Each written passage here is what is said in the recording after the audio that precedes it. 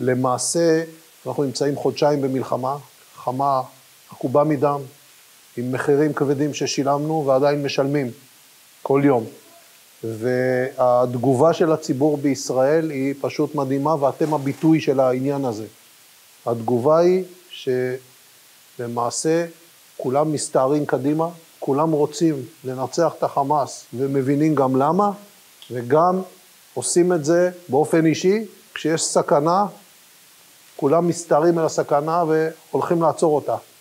הלוחמים של צה"ל בבוקר אה, שבת, 7 באוקטובר, שמחת תורה, חלק מהם קיבל פקודות לנוע לחזית. חלק גדול מהם במילואים ובסדיר, בחופשות ובשירות, פשוט לקחו את עצמם ורצו קדימה. זה לא מנע את הכל, אבל זה הציל מפני אירוע הרבה יותר גדול, ולצערי שילמנו על זה במחיר של הרבה מאוד חיילים שנהרגו בשטח. אבל הם בלמו בגופם את זה שהמחבלים לא יגיעו לאשקלון ולאשדוד ולתל אביב ולבאר שבע. וזה רוח צה"ל. ואתם מצטרפים לנתיב היסטורי, שהסבא והסבתא שלכם כבר שירתו. ואחרי זה ההורים, ואחרי זה אתם, והדבר הזה הוא מה שמקנה חיים למדינה. בזמן שפה מתגייסים, חמאס נכנעים. זה המצב. אחד אחרי השני. לצערי הרב, אנחנו בשביל לחיות במקום הזה צריכים כלי מגן. כלי המגן שלנו זה צה"ל, כל ארגוני הביטחון האחרים, ואת מה שאתם עושים היום עשו לפניכם, כל אחד בתקופה שלו. תזכרו שאתם לא לבד.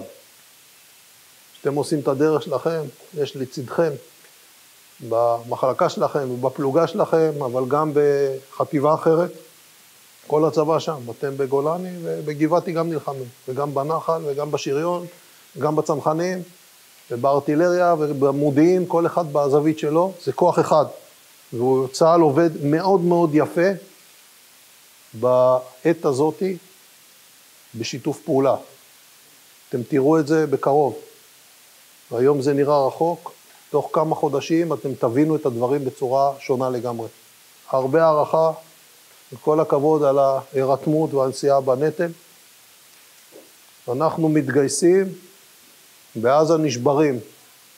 החמאס, צה"ל הולך ומנצח ואתם תצטרפו אליהם בקרוב, אל המערך המפואר הזה שנקרא צבא הגנה לישראל, בכל ההיבטים שלו. וזה ביטוי החזק ביותר והאופטימי ביותר לזה שאי אפשר לשבור את עם ישראל. אי אפשר. אותנו אי אפשר לנצח, גם כשמשלמים מחירים קשים.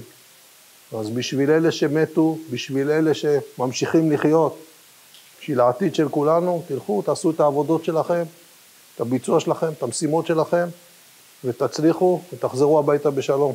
שיהיה בהצלחה, חבר'ה.